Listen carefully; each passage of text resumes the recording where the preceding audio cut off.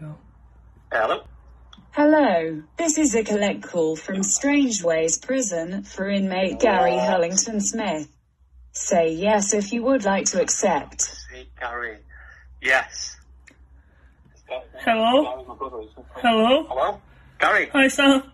what the actual Sam. is going on? I was in the I was in the uni library and I took a textbook and they said, "Have you got a card for that?" And I said, "No." And then they just grabbed me from the back. I thought it was all a joke, but I'm in Strangeways. You want a textbook? Yeah.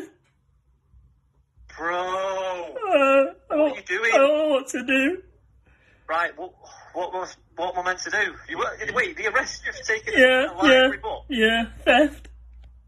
Gary! I think what I might do is I might just I might just tell you that this is all a joke. Oh, so sorry. So you're not, so you're not in prison? No. You're a fucking idiot, man.